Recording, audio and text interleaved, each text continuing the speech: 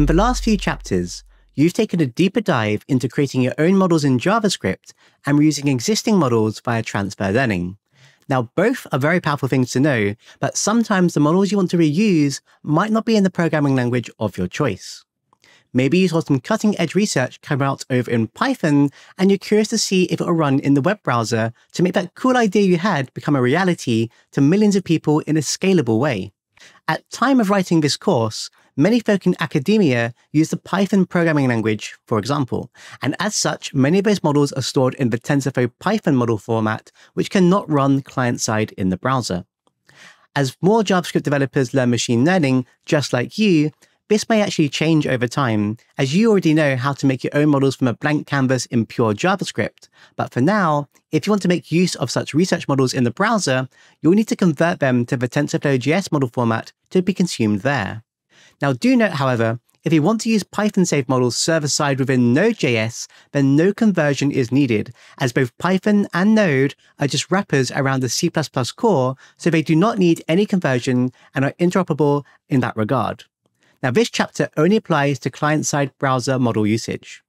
Okay, so what are the benefits of doing this conversion? I mean, why not just keep it all server-side?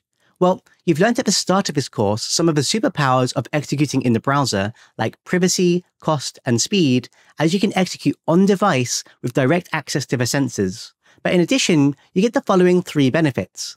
First, you can give your team or community access to a larger range of models and research.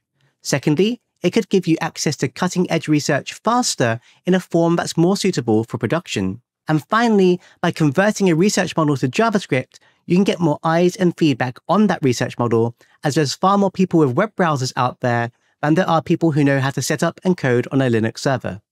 So diving into that last point, what if you could get research models into the hands of more front-end users? What we see here is the typical approach needed for server-side environments.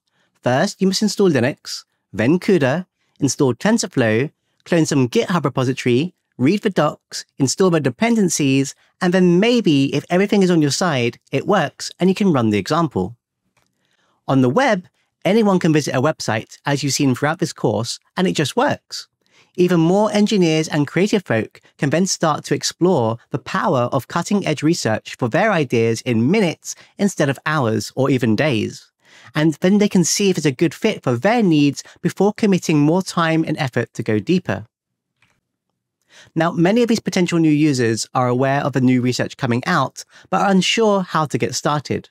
Often, there's a programming language barrier or added friction to usage, as you just saw and offering a web accessible model could encourage more users to try such a model in their respective industries, even if they're not ML experts themselves, which in turn will drive innovation and new ideas. Now, these ideas and use cases could lead to valuable feedback for researchers, as the industries the model would be exposed to may be far greater than ever before. And this feedback and discovery of potential biases for real world applications could then drive further improvements to the research model itself thus enabling creation of better models further down the line, leading to a positive feedback loop of new research model consumption, industrial innovation and prototyping at scale, which in turn drives new innovations for edge cases discovered. This is in fact how we're working here at Google, which has led to improvements in our pose estimation models like our MoveNet model, for example, which after launch received feedback from companies in the healthcare industry, who we then collaborated with to produce an even higher quality model that's now available to everybody. Now, in this chapter, you'll learn the basics of retraining and converting Python models to empower you to bring popular models to your fellow JavaScript developers or communities that you might be active in. So let's get started.